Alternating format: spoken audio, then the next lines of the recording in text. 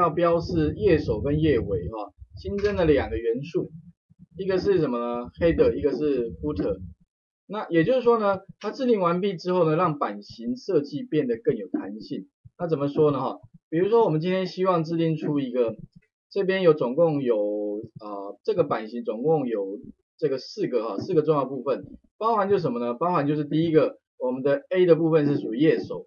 啊，然后呢 B 的部分是导览列，C 的部分是内容啊，D 的话是一个页尾。那这个部分的话呢，如果说我我要把它版型排成这样的话，那以前哈做法跟现在 HTML5 里面有什么样的差别呢？实际上以前的话啊，你可能要用什么？最早可能用一个什么啊表格啦，或者是什么框架页啦，或者是什么 div 啦啊有没有？但是呢，这样的方式其实都不是很理想，因为这这里面你说最早用表格有没有？表格其实很很麻烦哦，非常麻烦，你要去制定很多标签。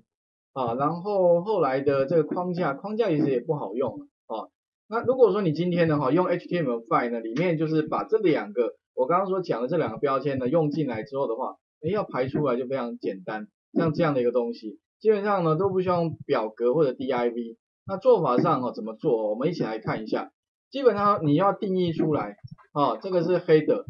，footer 在下面嘛哈，这是导览列，这是内容，对不对？那这几个部分呢，你先定义。那怎么定义？首首先，我想前面都一样，在底下会有不一样的地方，在这里，在 title 下方有没有？title 下方我针针对我要的 style 啊，有点像 CSS 版型设计啊，我这边增加一个所谓的 style。那 style 部分的话，我定义出来，第一个是 header 跟 footer，然后后面的话给它大刮弧，大刮弧后面的话呢，就制定几个部分哦。包含就什么 display 哈，它的颜色部分，那我给它什么呢？black 啊，这个哈，呃，给它一个 display 的方式呢，就是用 black 哈。那再来的话呢哈，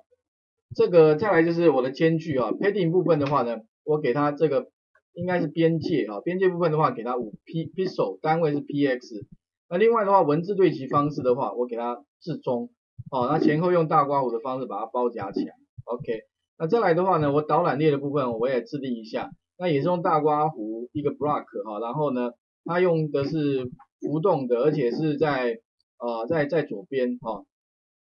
那宽度的部分的话，因为我的内文跟这个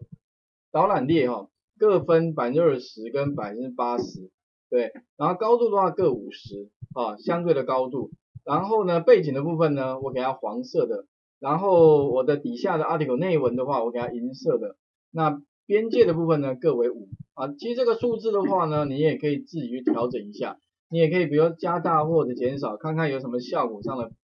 这个这个变化哈。那这个部分的话，我就把 style 制定出来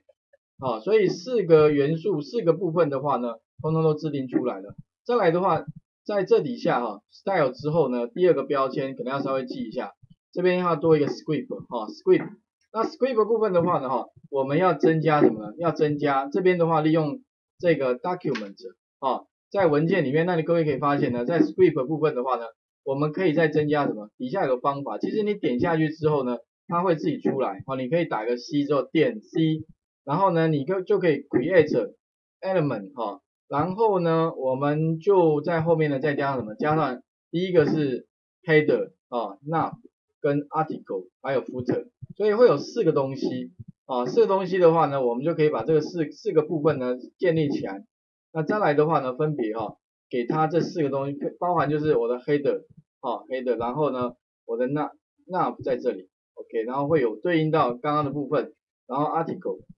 我是利用这地方，那这个 article 是一个段落，所以这里的话我就用一个段落方式，然后一个 footer 啊 footer 部分什么什么啊工作室版版。这个版权所有啊等等的，那利用这样的方式的话呢，我就可以把这个版型制定出来啊，包含就是我的样式，然后呢，我要产生它的这个这个啊某每每一个部分啊每每一部分，那每一部分的话呢，建立之后的话，执行出来结果各位可以看到，就类似像这样的哦，那这里的话，我想各位试试看哦，会把这部四个部分呢建立起来，这个也是。呃，在 HTML5 新增的这两个哈，两个部分，把画面先还给各位试试看哦。那这个画面的 source 啊比较长一点，那我已经把这个画面呢放在我云端白板上面啊，那各位可以稍微参考一下哈。